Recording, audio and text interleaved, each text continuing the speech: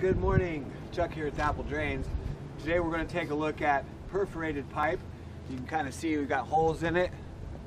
See the holes in the air? Remember that perforated pipe is used two ways.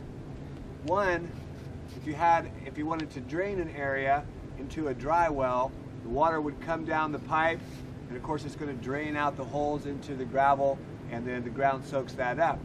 That works a little bit. Of course, when the groundwater rises uh, in the ground, it backs up that system.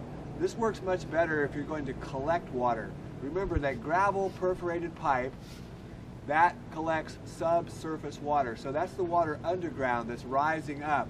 And that goes into your low spot, makes it soggy or wet, and that would rise into the pipe, and the pipe would carry it away. It has to discharge to daylight. What that means is that it has to have a downhill run, I'm going to exaggerate, a downhill run, and it has to go out and to the open ground, whether it be a curb or a storm drain or in your backyard, it still needs to go out into the open ground. Finally, remember that perforated pipe with the holes, you need to put gravel down here. Holes point down. That's the most important thing. You put the holes up here, and it takes a lot more water to fill up through the gravel to get into the holes. So it stays wet and soggy. Putting the holes down, gravel underneath and on the top, that helps the water go straight up and into those holes and carry it away much quicker. I'll put the link to the other video to show you how that works right here. You can just take a look right here. Okay. Perforated pipe. This is a piece of three inch pipe. I want you to see the difference between 3 and 4 inch. 3 inch works well, 4 inch is better.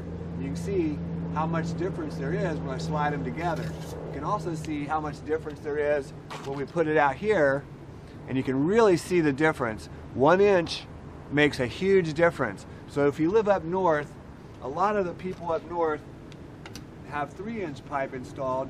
It, it works great, it's not bad. But if you're going to have a replacement, ask them to put four inch pipe in, whether it be PVC or whether it be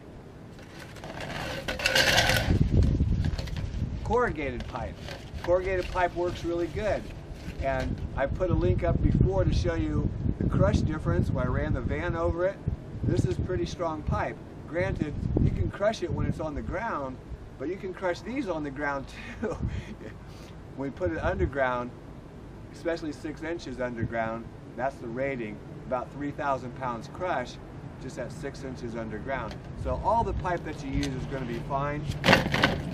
This is available, the, the corrugated pipe is available at Home Depot and Lowe's. Easy for the homeowner to go and get it. So again, if you have any questions, please feel free to email me. I'll be happy to try to answer your questions. Hey, this is Chuck with Apple Drain, reminding you that if you believe you guarantee. Have a great day. Hey, good morning. Chuck here with Apple Drains. You know, I've been getting a lot of uh, phone calls from people all around the country, around the world, and it's really hard for me to answer all the phone calls.